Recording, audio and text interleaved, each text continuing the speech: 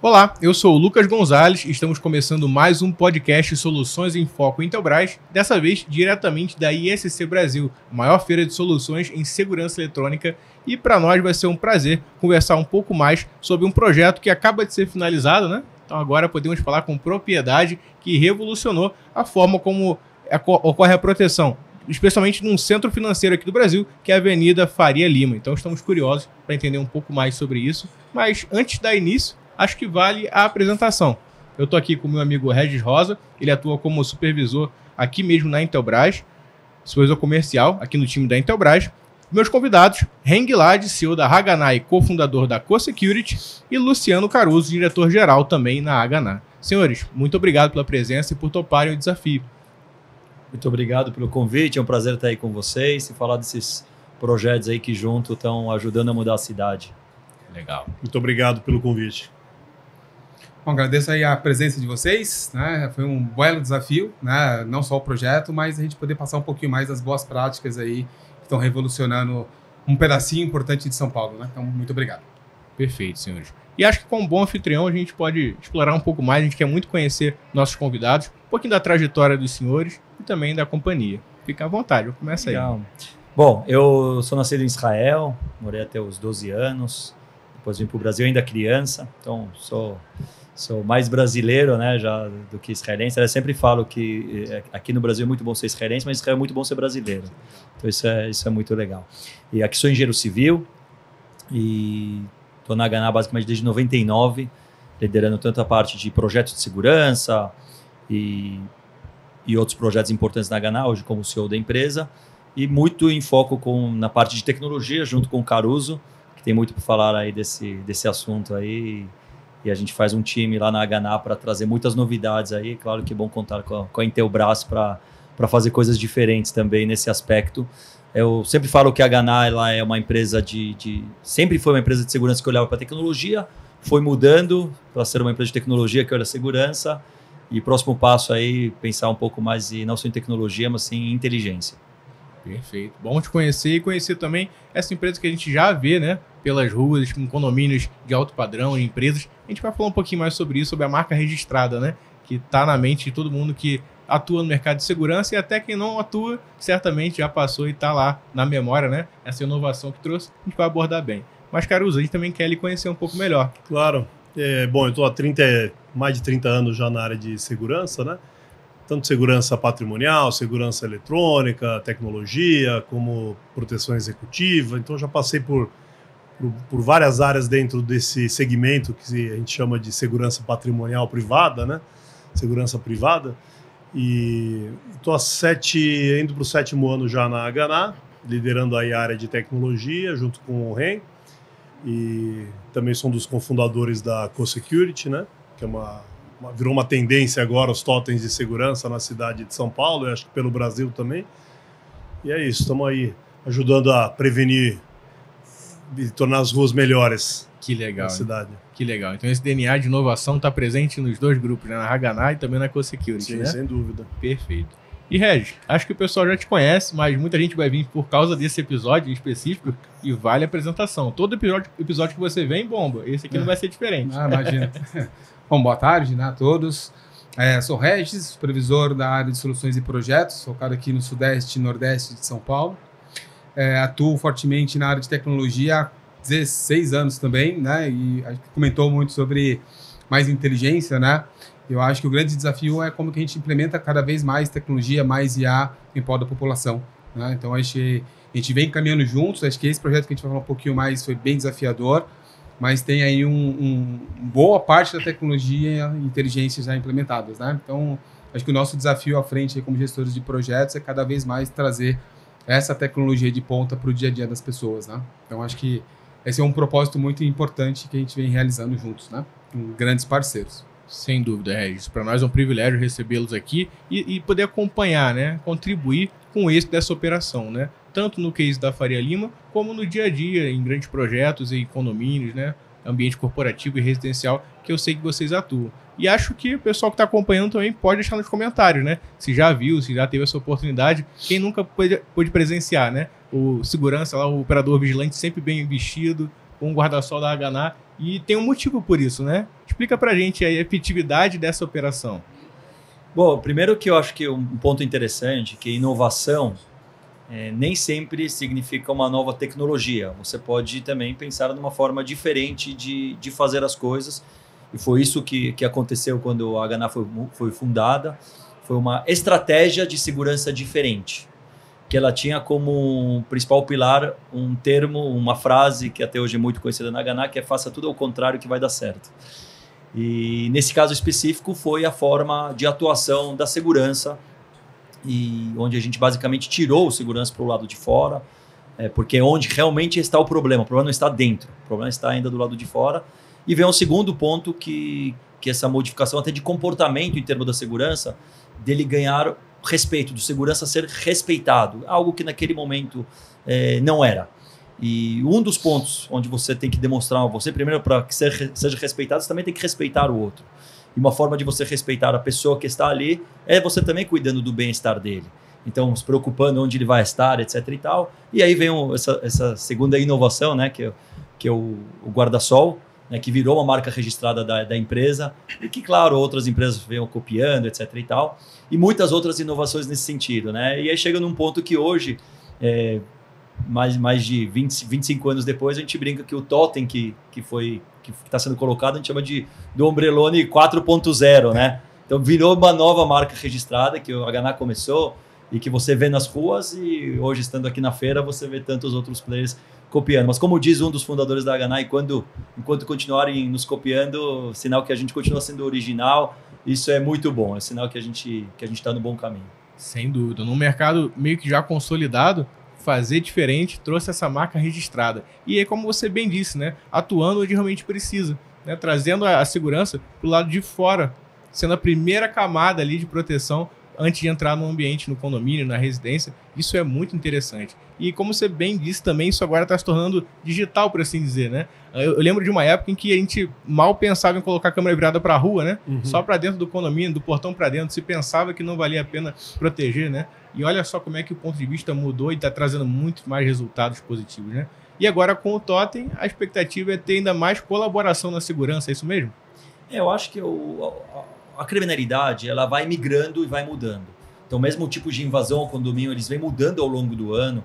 É, arrastão, é, ataques individuais em apartamentos, é, eles entrando disfarçados, enfim, vai tudo mudando. O tipo de, de, armamento até que é usado, se não é usado. E a tudo isso a gente tem que estar bem antenado e prevenir e estar um passo à frente, sem dúvida nenhuma. E hoje o que mais atormenta o paulistano é a segurança na rua, né? É o problema de a gente não poder andar é, com o celular na mão, né? Então, é, onde vai vir esse ataque? Então, é, esse é o propósito dessa, dessa inovação em devolver as ruas para os brasileiros. Hoje as ruas, infelizmente, ainda estão, estão na mão dos bandidos, a gente não pode andar tranquilo. Então, o propósito da empresa, o que é muito legal de trabalhar com segurança, porque é muito fácil a gente encontrar um propósito para aquilo que a gente faz. E o propósito dessa solução realmente é ver como, como um pode colaborar com o outro. E surgiu esse conceito super inovador também, esse termo que não era usado, que é da segurança colaborativa. O, Caruso, que, que vem falando sobre isso, pô, hoje a economia é compartilhada, né? Então você tem Airbnb, você tem Uber, etc e tal, tudo é compartilhado. E por que não compartilhar a segurança? E daí que também nasceu essa, essa ideia da co-security, né? da colaborativa, do compartilhado.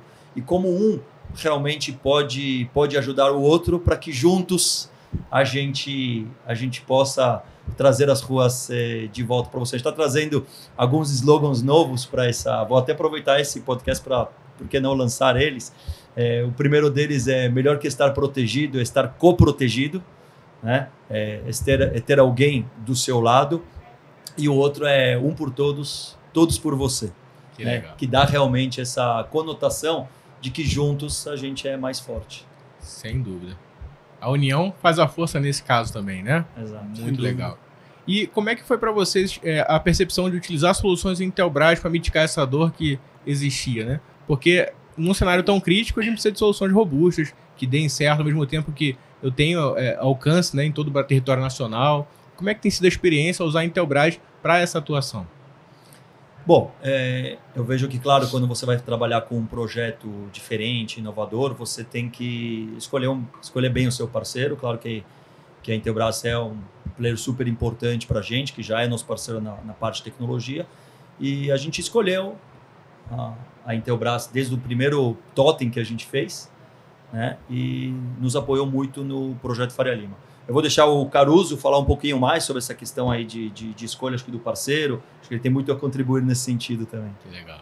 Bom, escolher a Intelbras foi fácil porque a Intelbras ela está presente já na Ganá Tecnologia também há bastante tempo, né? E a gente tem um relacionamento é, de bastante confiança e, e, de principalmente de entregas rápidas, que eu acho que isso é importante também, porque você não pode ficar esperando uma importação. É, essa agilidade ela é bastante importante para um, quem trabalha com segurança, né? Porque o bandido não, esquer, não espera a câmera ser consertada, né? A câmera tem que estar sempre funcionando. Então a gente precisa de parceiros que realmente estão ali presentes e rapidamente para repor um estoque, alguma peça de manutenção. Isso é muito importante dentro dessa cadeia.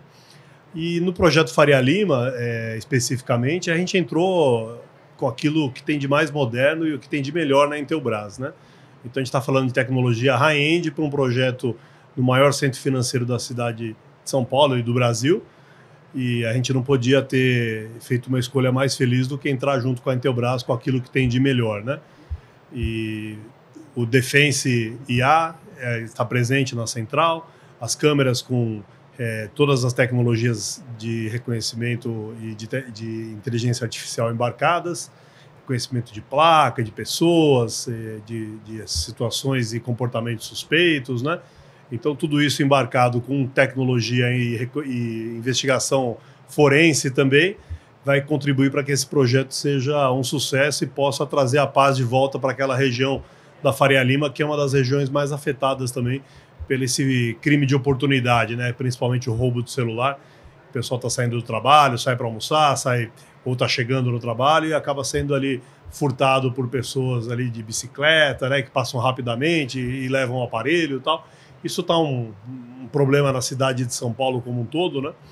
E a nossa solução ela traz é, uma esperança aí para essas pessoas, né? Que que estão sofrendo com esse problema e a gente tem de fato conseguindo ajudar a polícia a resolver muitos crimes diariamente, né? Hoje, com 1.700 totens espalhados pela cidade, a gente tem, em média, 5, 6 ocorrências acontecendo por dia, onde a gente trabalha em conjunto com a polícia, né?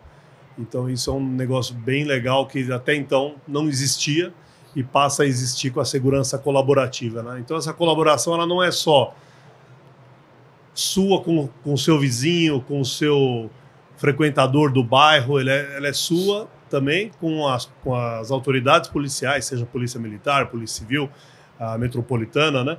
Então, essa colaboração, esse ecossistema que a gente está construindo, ele vem é, somando muito na cidade de São Paulo. Perfeito. E é a ferramenta ideal, né? Porque ela traz agilidade. É como você falou, a busca tem que ser muito rápida, né? A pessoa tá ali e se eu demorar, tiver morosidade, eu vou perder aquela pessoa no ambiente. Depois, para recuperar, vai me dar mais trabalho. É o que eu estava falando com o Regis, né? Imagina que antigamente você, na época do time-lapse, ainda o é dessa época, né? Com certeza, né? É, você precisaria bater de porta em porta em cada vizinho e pegar uma, Pedindo uma fita, né? É. Você ia ter que levar uma fita, porque o cara não ia dar a fita dele, né? Uma fita para gravar e tal. Depois passou isso pro, pro DVR, mas a pessoa não sabe a senha, não sabe extrair a imagem. Pendrive. E quando é tira o pendrive vai tirar 30 e poucas câmeras, 16 câmeras, né? E naquele período que você nem sabe exatamente quando aconteceu e quem que vai ficar olhando tudo isso, né? Um mês depois não elucidou ainda Um mês problema. depois, se, se você conseguir a imagem, é. você vai ter um trabalho enorme para chegar. A gente tem um trabalho muito é, sob medida feito na central e que eu pego exatamente o momento da ocorrência, o antes e o depois. E aí eu vou fazendo todo o trajeto disso através de uma rede de segurança privada essa contribuição ela tem sido muito elucidadora para crimes é, junto às autoridades. Eu acho que essa rede ela faz toda a diferença. Né? Sensacional. E para que essa tecnologia chegue em campo, né, Regis, há um grande trabalho do nosso time comercial, né? Como é que é participar e trazer inovação para que esse projeto e outros, né, que se inspiram, possam utilizar o melhor aí? Como é que tem sido? Bom, como foi comentado aqui, acho que o grande desafio é primeiro mapear todas as necessidades, né? E quando a gente fala de grandes projetos, muitas vezes a gente fica só na camada do dispositivo de borda, só na câmera ou no controlador de acesso ali. E, esse projeto específico foi pensado com muito carinho também toda a infraestrutura para que garanta que você tenha a inteligência funcionando, o acesso às imagens, para que tudo que foi idealizado ali, para que tenha tudo em tempo real, ele também foi construído com muito carinho com soluções Intelbras. E esse processo, ele, ele só vem sendo sucesso graças à união dos nossos times comerciais, eh, desde o início de entender o propósito do projeto, entender o que a gente pode oferecer de melhor e construído a quatro mãos com os times de engenharia de aplicação e pré-vendas. Né? Porque eu acho que hoje, quando a gente olha é, para o mercado, a quantidade de tecnologias e acesso à informação é absurdo, né? Então, a gente conseguir fazer um trabalho a quatro mãos ali de identificar de fato a melhor inteligência, a melhor aplicação desse produto na borda é o que garante de fato um sucesso de um projeto tão desafiador e inovador quanto esse. E a gente não fala só de tecnologia, né? A gente está falando de processos, a gente fala de metodologias ali do dia a dia, enfim, e quebra de paradigmas, né? Porque muitas vezes você tem uh, na sociedade alguns paradigmas ainda quando a gente fala de inteligência, né? Algumas pessoas têm certa uh, rejeição, tipo outro de tecnologia, ou desconfiança da tecnologia, e quando ela é bem dimensionada e muito bem aplicada, como é o caso, os índices que você leva de assertividade de informação são fantásticos. A gente está falando de 98%, 95% de assertividade. Isso traz confiança para o processo, tanto para o usuário, quanto para a população em volta, quanto para o parceiro, né? E para a gente ter a garantia do que está sendo entregue. E aí o, o, o Caruso comentou um pouquinho sobre tecnologia time-lapse, estava lembrando aqui. É, primeiro tinha uma dificuldade grande de dispositivo, né, Caruso? E depois, em caso de ocorrência, você passava dias vendo a fita para achar o exato momento. E a agilidade hoje que o grupo HNA e consequentemente tem em caso de evento, em recuperar as imagens, em fazer a busca forense, entregar ali, compartilhar isso com as forças é fantástico.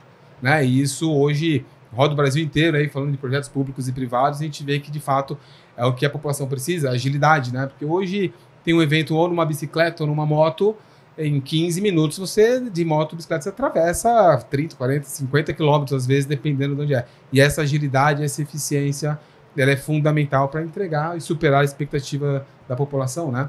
Além da inibição, né? Hoje, a gente estava gostando um tempo atrás também, né, Caruso? Onde uh, são alocados os totens, também tem uma redução né, de índice. Eu gostaria que você comentasse um pouquinho também sobre isso. É, Peguei um gancho aqui, Lucas. Como a gente tem uma padronização desses totens é, e, e, um projeto padronizado, acho que é um dos grandes acertos desse, desse produto, né? Porque o bandido, ele olha, ele anda pela rua, ele, ele olha, essa, essa, essa rua se organizou, se juntou e se organizou para falar de segurança. E, então, quando você passa e vê um totem azul, outro totem azul, você fala, pô, isso aqui é uma rede e eles estão conectados, né? Porque a identidade visual é a mesma, né? É diferente de ter uma câmera, cada uma de uma marca, de um jeito em, na fachada de um condomínio, no muro, né? Olhando para a cerca, olhando para dentro, para fora. Mas quando você tem um padrão, você, o bandido fala, aqui o pessoal se juntou e, e, não e se, se, não for pego aqui, você pego ali, né? E onde eu parei meu carro também tinha um, então pô, acho que eu vou para outro lugar, né? Acho que esse é o. Se eu, se eu fosse o bandido, eu ia pensar dessa forma. E acho que no mercado de segurança a gente tem que pensar muitas vezes como o bandido, né? Você fala, pô, eu acho que eu fui pego aqui, né? Então vou para o outro, pro outro, outro lugar, né? E acho que esse é um dos grandes sucessos do, do, do produto. Acho que é uma grande sacada, né? Porque... Desde a iluminação, né, Henry? Que assim, a gente está falando de uma, um padrão até de cor de iluminação, né? E acho que isso, quando você traz para o pro produto esse tipo de identidade visual, acho que isso agrega bastante também. E isso tem a ver, vou voltar para o faça tudo ao contrário que vai dar certo, né? É, São Paulo já está cheia de câmeras, centenas de milhares de câmeras nas ruas, e mesmo assim o bandido em bom português não está nem aí. Ele, né? Então, peraí, o que, que mudou agora com o projeto de câmeras? Onde que está a diferença? E a verdade é que o bandido, ele, ele faz o quê? Ele é o rei dos disfarces, né? Um dia, um dia ele ataca de um jeito, um dia ele ataca de outro jeito, e a segurança é justamente o contrário disso. A segurança tem que ser padronizada. E aí vem esse, esse assunto que o Caruso trouxe, que é o primeira linha realmente do projeto de você padronizar tudo. Né? A identidade né? ser bem visível, bem postado, bem iluminado, para mostrar realmente que ali tem um sistema profissional que está integrada, formando uma, uma rede, uma rede de segurança. Então é, é algo que, que conseguiu trazer uma inovação, de novo, né? Gente vai trazer uma inovação sem ao, ao mesmo tempo ter inventado, a, é, pegar algo que já existia talvez, né? Mas juntando ele e montando numa máquina que nunca ninguém fez antes, trazer, conseguir trazer uma, uma, uma inovação por coisas que já existiam, como acontece realmente com, com muita coisa, né? Então, a, a internet é, surge 20 anos antes de surgir a rede social. A rede social, na verdade, ela usou é, coisas que já existiam, né? Questão de internet, ou as pessoas querendo, né, sedentas por, por se conectar e fazer. E aí surge um conceito novo, mas você utilizando de coisas velhas. E aqui, nesse mesmo sentido, também trazendo esse conceito de redes sociais para a questão da, da rede de segurança e inovando.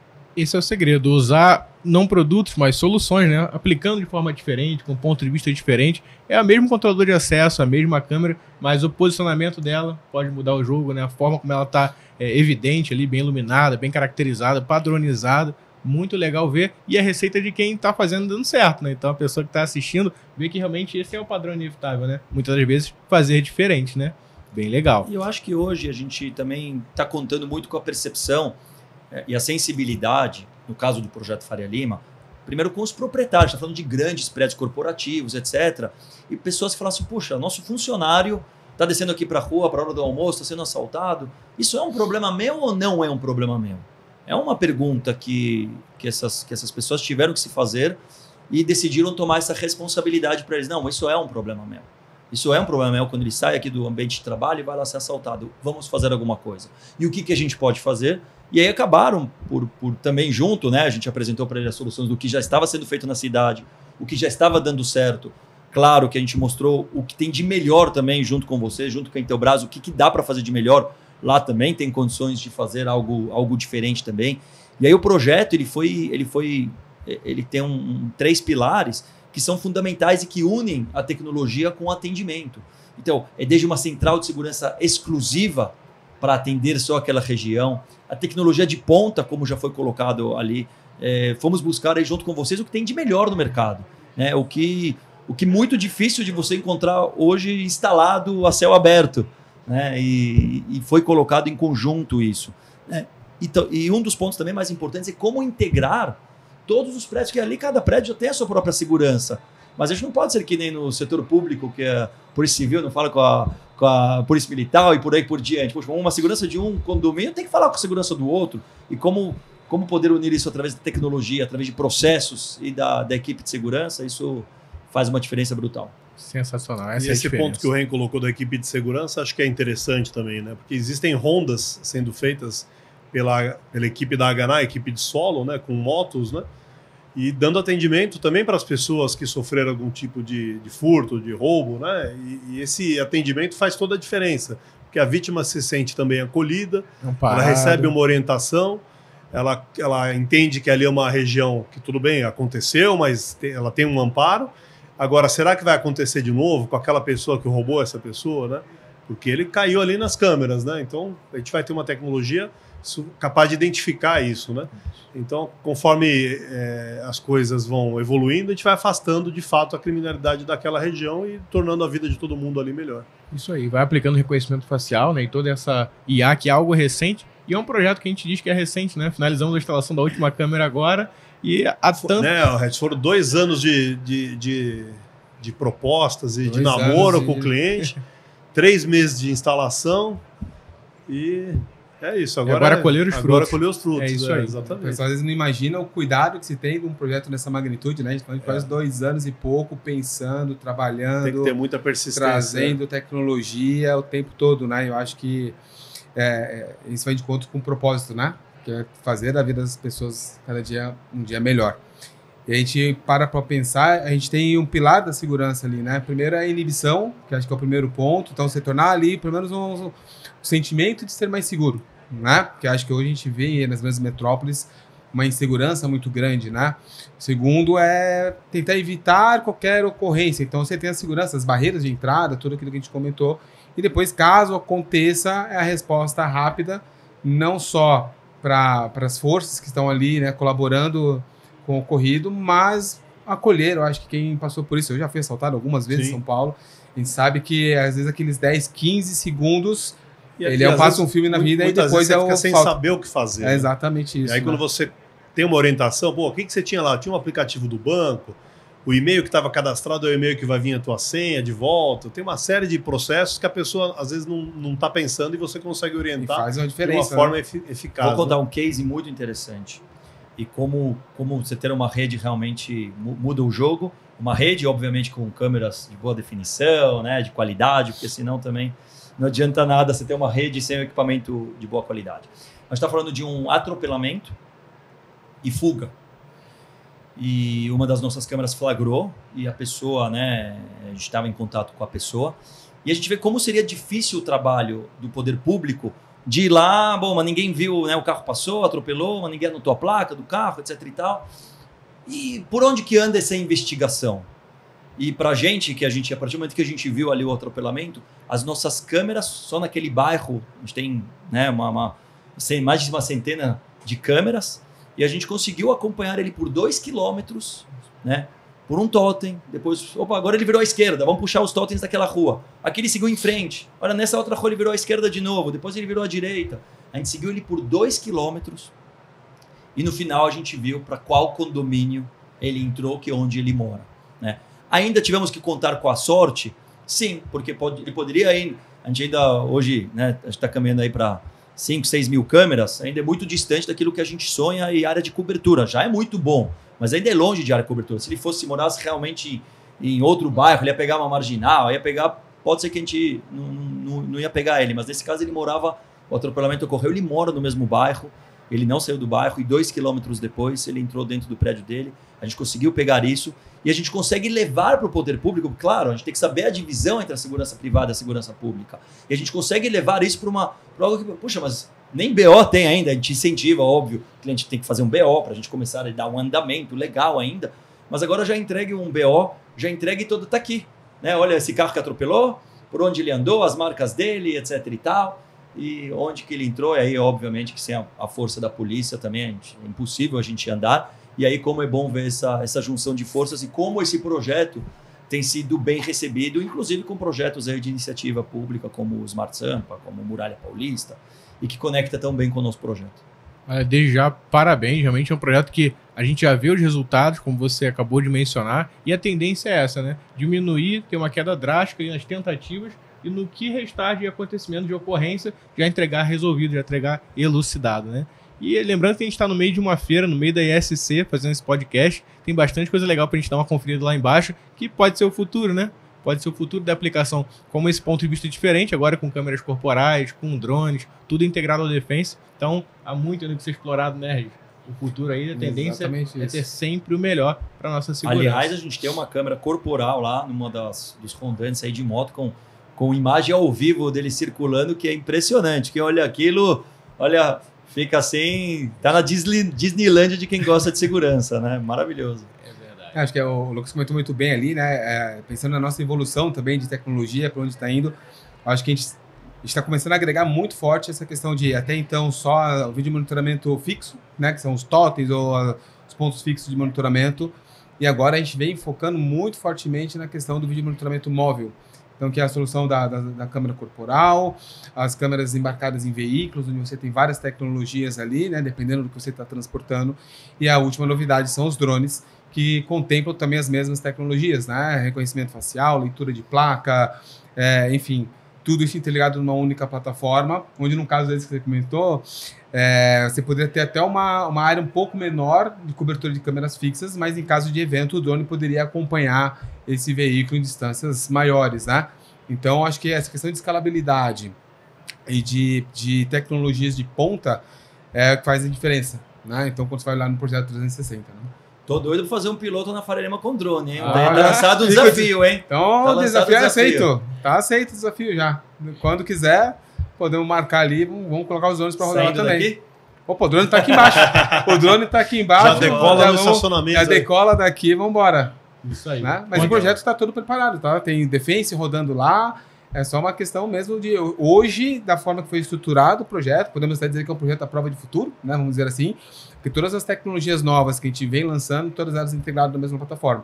Então, se amanhã, hoje, quiser a solução do drone rodando, o bodycam, no veicular, é simplesmente ativar o drone, fazer uma configuração de rede extremamente simples para uma equipe altamente qualificada e bota o drone para rodar. É, hoje a gente já tem a experiência de utilizar drones né, em alguns condomínios, principalmente loteamentos, né, monitoramento perimetral, tudo que é um grande desafio. E o drone ele, ele vence bem essa questão. Eu sei que ainda tem desafios legais, né, quando você fala em voar em áreas é, é, densamente urbanizadas, Aham. né, como a Faria Lima, mas com certeza acho que é um desafio muito bacana para a gente ter. Não tenho, tenho dúvida que a gente está no, no, no caminho para ter isso também. Com Perfeito, certeza. Perfeito. Essa é a vantagem, né? Aqui você já conta com treinamento, a capacitação. É uma responsabilidade legal muito interessante, né? Você tá por dentro, porque não é brincadeira, né? Dividir o espaço aéreo, ainda mais em área movimentada. Mas a aplicação de segurança, ela tá trazendo um conforto ali, né? A gente viu em grandes eventos aplicação do drone, da câmera corporal com um ponto de vista direto do que está acontecendo, né? E o totem e o operador ali lá de fora, então tá 100% coberto, 100% seguro. Muito legal. Parabéns aí por essa vanguarda, né, na inovação, tanto na HNA e agora na CoSecurity também, viu? Obrigado. Legal, muito obrigado. Caruso, Ren, Regis, muito obrigado pela presença. Tem mais algum ponto que a gente deve mencionar que passou batido? Como é que acompanha um pouco do trabalho da e da CoSecurity? Deixa a rede social ali, pessoal quer conhecer. Bom, aí acho que é só digitar Hana em qualquer rede social que vai, vai ver vários podcasts, várias informações no nosso próprio, no nosso próprio site. E eu acho que para quem tem dúvida de vir na feira, qualquer feira de segurança, fala, ah, mas já fui no ano passado, né? E, e realmente as tecnologias, às vezes, quando a gente vem no ano seguinte, a gente muitas vezes vê, demora, né? Talvez três anos, pula para ter alguma novidade realmente de impacto e tal. Mas o, o ponto principal, eu acho que quando você vem aqui, além de você sair um pouco do seu dia a dia, mas você está né, continuando no seu ambiente de trabalho, isso que eu sempre falo para o Caruso, que eu gosto de estar nessas feiras, porque olha, nesse bate-papo você vê alguma coisa diferente, às vezes você, você tem algum insight, fala, pô, olha como é que a gente pode utilizar, isso? Aconteceu já hoje, então aguardem que vem novidade por aí, uma novidade legal, que a gente conseguiu ter um insight em simplesmente conversando com alguém, batendo, pô, mas a gente podia usar o que ele pensou, mas algo um pouco diferente, dá para fazer? Dá para fazer. Como aqui, quem sabe, nasce algo diferente. Então, na minha opinião, vale a pena vir. No mínimo, para você respirar algo que está fora da caixa, você também tem que sair da caixa. É isso aí. Tá? Conte com a gente, estou sempre próximo, né, É Regis? isso aí, sempre próximos. Contamos com vocês aí. A Intelbras está sempre pensando em novas tecnologias. Um, um time extremamente qualificado em Santa Catarina, Minas, Manaus, preparando produtos e novidades. E muito do que a gente desenvolve é justamente acolhendo aí os nossos parceiros, trazendo muitas vezes o que está sendo é, é, tem de necessidade ali no campo, né? Então a gente traz para de casa, desenvolvemos e a gente faz a devolutiva de novas soluções. Para esse ano a gente tem programado em torno de um lançamento e meio por dia de novas tecnologias, um terço aproximadamente é de atualização tecnológica, G1, G2, G3 ali, e dois terços de novidades, muitas delas que nós estamos trazendo aqui para a feira. Então fica o convite para conhecerem com a gente um pouquinho lá embaixo, aí, no nosso stand ali das novidades. E contamos com vocês para implementar essas novidades todas aí nos nossos próximos projetos também. Bom, muito obrigado pela parceria de sempre. Prazer estar aqui.